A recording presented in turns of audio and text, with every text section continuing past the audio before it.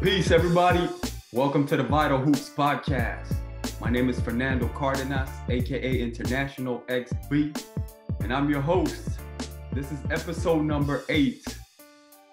And today's topic is identity. Now, recently, we witnessed the 2022 NBA Finals, which we're going to get into in a minute.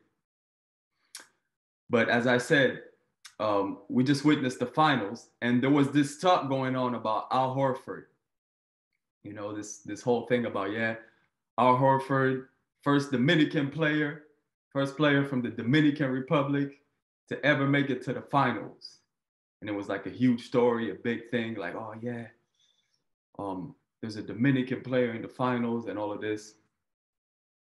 Now, let me first say that, first of all, big up to Al Horford as a hooper, great career.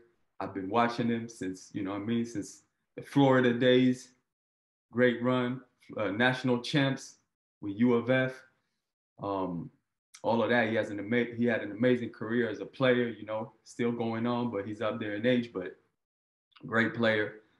Uh, much respect to Al Horford. But let's talk about this. So there's this huge thing going on around. Yeah, first, first Dominican player ever, and you know, we go we, we we go to symbolism, right? So what does that mean? What does that mean to the people in the Dominican Republic? The kids are able to, you know, identify with him. They see him play, and you know, they can identify. Now, let's talk about this because this is very interesting, right? I believe that it is very important for us, people of African descent, to identify as such before anything else, before any nationality. I believe it's important for us to identify as African people, as people, people of African descent. Um, I, I don't think it is good for us to identify by the language we speak. Like you hear a lot of people who, you know, speak Spanish because they were colonized by the Spanish and now they're saying that they're Spanish. You know, we're not Spanish. I say we because I speak Spanish as well. I'm Afro-Cuban. I speak Spanish. I speak French. I speak English. A bunch of colonizers' languages, but that doesn't. That's not what identifies me.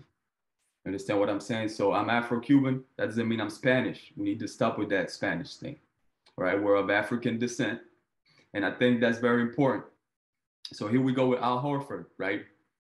Um, people will say, yeah, it's, it's extremely important because the kids look up to him and now they can see them, themselves in him, right? Well, if we had that more of an Afrocentric, you know, Afro-centered uh, way of thinking, well, all the black players that are that are in the league, all these black kids in the Dominican Republic should be able to identify with them right away, right? They don't need to wait for Al Horford to make the finals. They can identify with Michael Jordan because they're black just like him. Understand what I'm saying? Just because they can identify with LeBron. They can identify with Iverson. They can identify with Steph Curry. You understand what I'm saying? Just because Al, Al Horford speaks Spanish just like them, and he was born around the same area, doesn't mean they can identify with black people from another part of the globe, right? That's that's one thing I think is very important. Um, and that uh, and that is all by design, right? The reason why we don't identify with other with other black people in other parts of the world is all by design that's how it's been in this world of of um, you know this world that we live in of white supremacy. Um, you know it's by design divide and conquer. That's the first step. You know what i mean? So these black people speak spanish over here these speak french over here these speak english over here. So they're, they're not going to view themselves as brothers. They're not going to be able to communicate. They have different religions different languages right? And that's that's that's the barriers that we need to break right? We need to be able to see ourselves as brothers and sisters, no matter what part of the world we're in, right? The, the African diaspora is strong, and whether we're under continent or outside of it, we should be able to relate because fundamentally, there, there are huge aspects of our culture which brings us together if we look deep into it and we get away from all this ignorance, right? So it's the same thing now, right? Um, you look at the NBA. I'm using a lot of basketball examples, obviously, because we're a basketball podcast. So when you look into the NBA, right, and you see, for example, if you search a, a list of European players, right, you'll see you'll you'll see guys show up European players. Dennis Schroeder, Schroeder, right? He's from he's from Germany, right? You see Rudy Gobert, he's from France, right? These are black guys, man. You know what I'm saying? These are African, these are Africans. you know what I mean?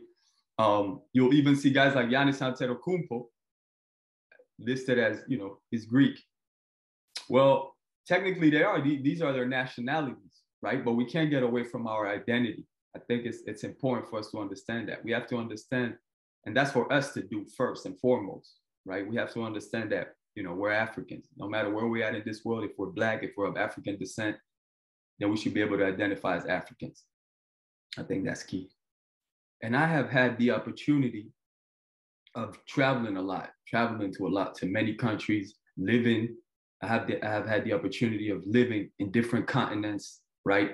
And I can tell you one thing we have in common, one thing our people have in common all over the globe, no matter where you find Black people, is the oppression, right? Is the lack of resources, no matter where we are, even, even, even on the continent, right? When there's white people, they have a better, they have, a, they live, they have better living conditions, right? And no matter what country we look at, the darker we are, the darker our people are, the more they struggle, right? So this is about uniting, you know, it's about feeling each other's pain and about growing, about building and growing as people, right? Uh, it's very important because, especially as basketball players, we have to understand that we're not just athletes, right? We're not just athletes. We're people first. We're human beings first, and we need to be connected to our, to our, to who we truly are, to our history, right? We have to understand. We have to know ourselves and know our history, right? So that's very important. So I wanted to get a little bit into that. Um, now, the NBA Finals.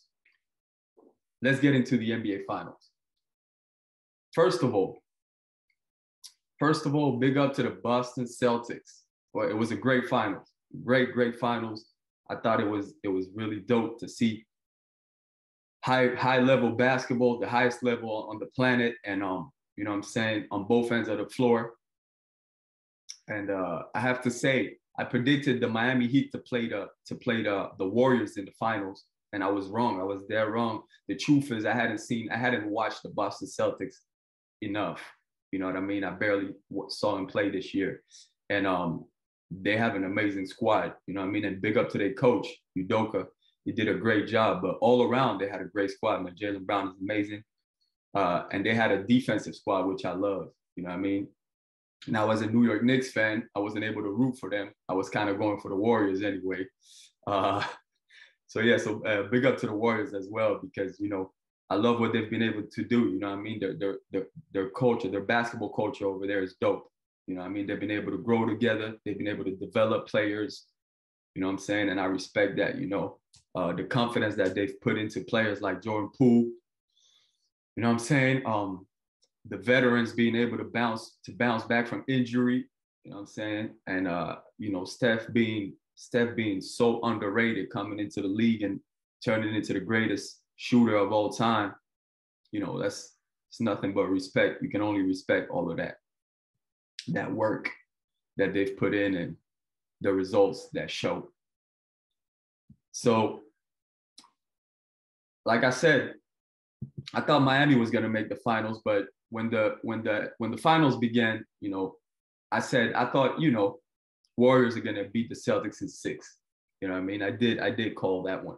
Now, I can't lie. After game one, I was like, all right, they're still gonna get him in six. You know, I mean, it happens.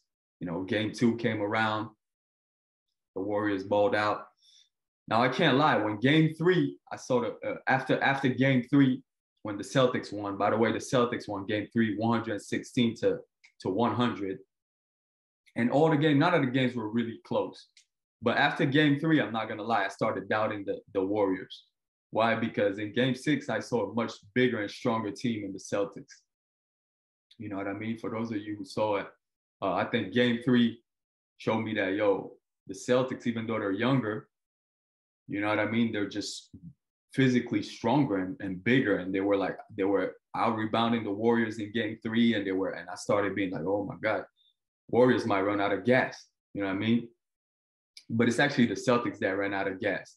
You know, uh, we saw that we saw it in Game Four as they came back. You know, and Draymond Draymond Green had a great game, and um, you know, what I mean, Steph Curry did what Steph, what Steph Curry does.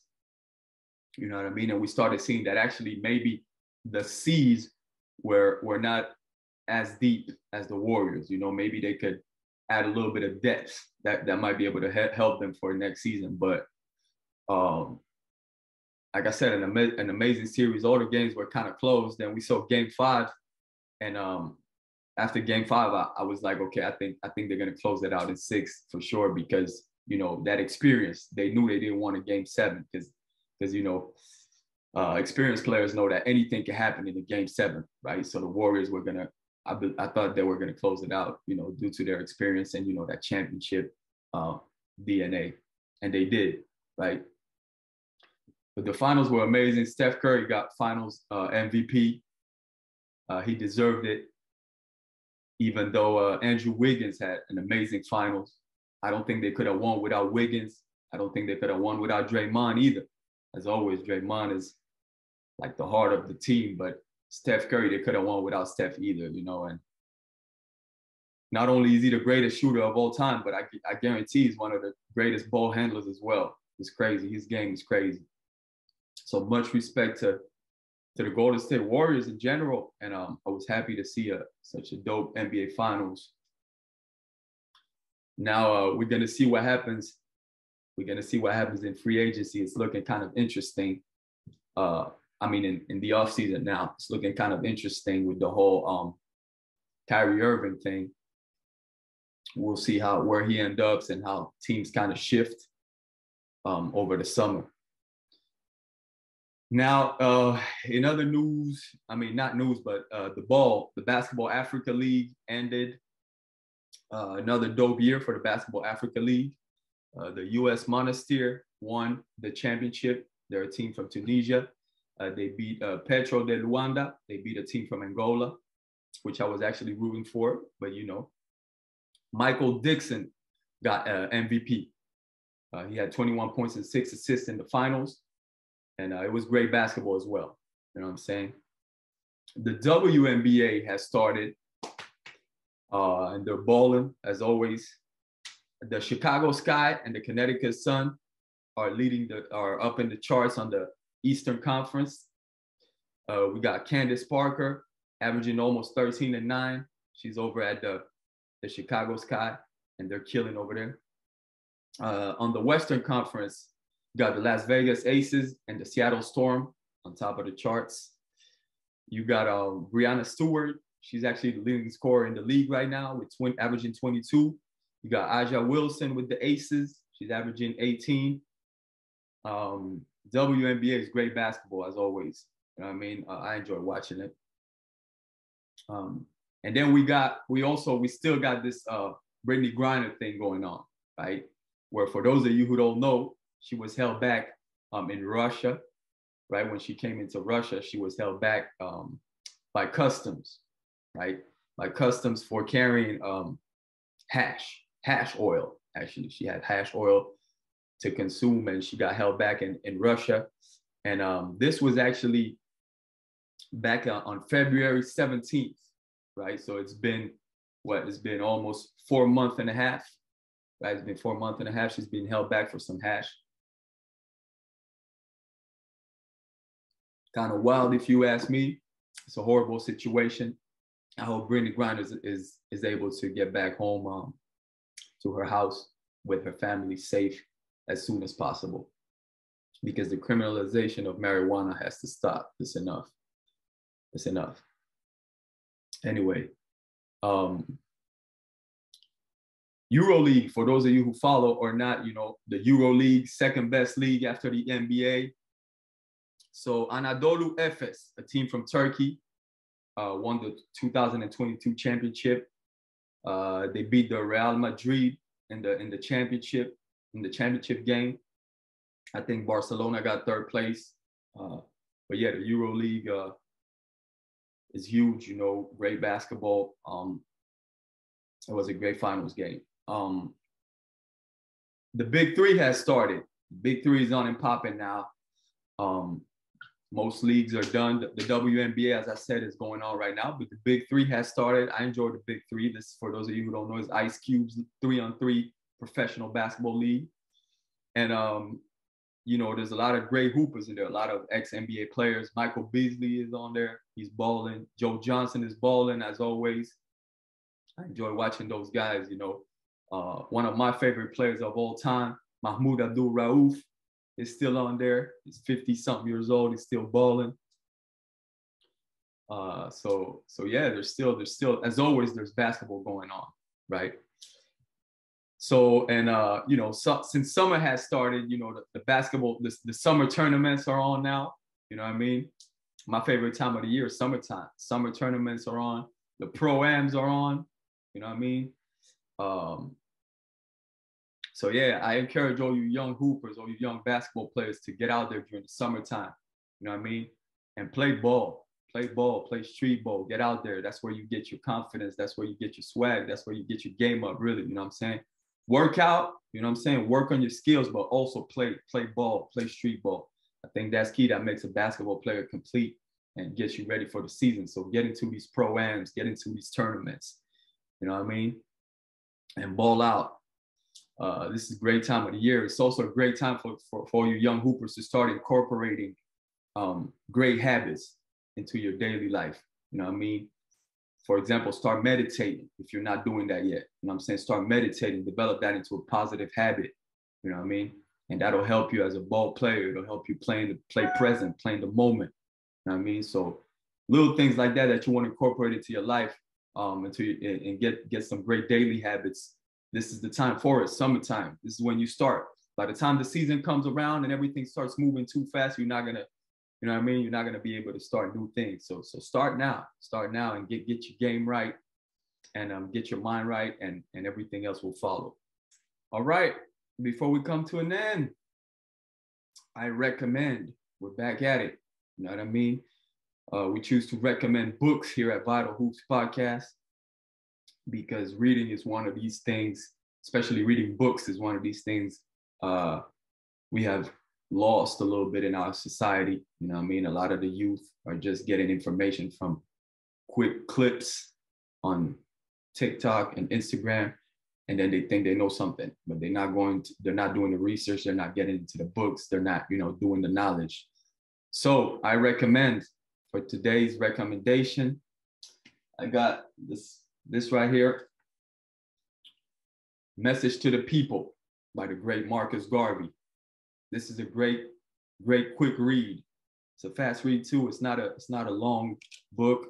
So I really recommend this one for if you haven't read it, obviously. Um, for all you young brothers and sisters, message to the people. I'm reading it again now. I have it here with me. Um, it's a great, great short book to get into some, some, some real important things, right? And uh, and yeah, so as we as we said today, you know identity, know yourself, know who you are, know your history, know your enemy. And uh, for those of you who's been, uh, you know, watching, you know, if you have been listening, you have been able to see. But if you've been obviously, but if you've been, you've been watching, you see on my microphone here, I got the red, black, and green. And uh, for those of you who don't know what that is, look it up. It has a lot to do with everything we've been talking about today. The red, black, and green flag that's what it's about. You know, there's this huge, um, you know, uh, in most in these societies that we live in, there's a lot of anti-African, you know, uh, energy, you know, and uh, and it's something, it's something real. It's something that we have to fight against, and it's very difficult because these systems of oppression uh, have designed this, right? It's by design. It's not, you know. So uh, this is why, once again, we need to understand who we are you know, and we need to love ourselves and build together and grow. So yeah, Vital Hoops, we're coming, we're, we're wrapping up episode number eight. So please share the podcast. Let people know about Vital Hoops. You know what I mean? If you're watching, please subscribe. You know what I mean? Hit the like button. Um, share. If you're listening, um, please share. Same thing. Make sure you share it with the people. Uh, if you're on Apple Podcast, give us five stars. Um, You know what I mean? That's that's the way you can help us. And we appreciate everybody who listens, everybody who watches, and everybody who spreads the word. Um, we just want to say, um, well, we got a couple great guests coming up, coming up on, on the Vital Hoops podcast, and I'm, I'm super excited about that. Uh, thank you to everybody who has participated, and uh, we're looking forward to growing, growing as a community, growing as a people, growing as a culture, uh, and building. Vital Hoops is for the culture. We out. Peace.